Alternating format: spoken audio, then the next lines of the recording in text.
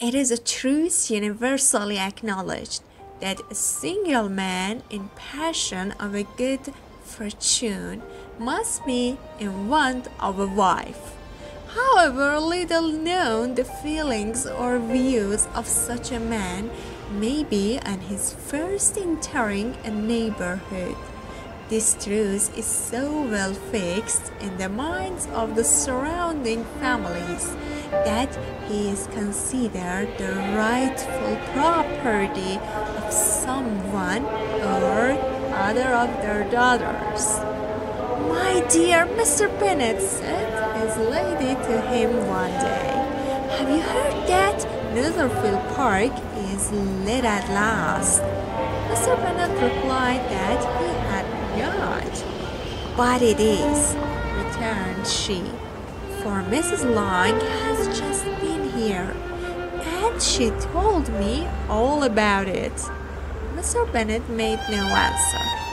Do you not want to know who has taken it? cried his wife impatiently. You once told me, and I have no objection to hearing it.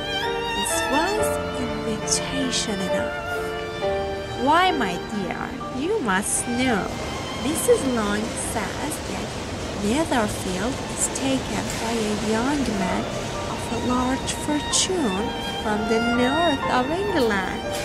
That he came down on Monday in a chaise and four to see the place, and was so much delighted with it that he agreed with Miss Morris immediately that he is to take passion before Michaelmas, and some of his servants are to be in the house by the end of next week. What is his name? Bingley. Is he married or single? Oh, single, my dear. To be sure, a single man of large fortune, four or five thousand a year. What a fine thing for our girls. How so?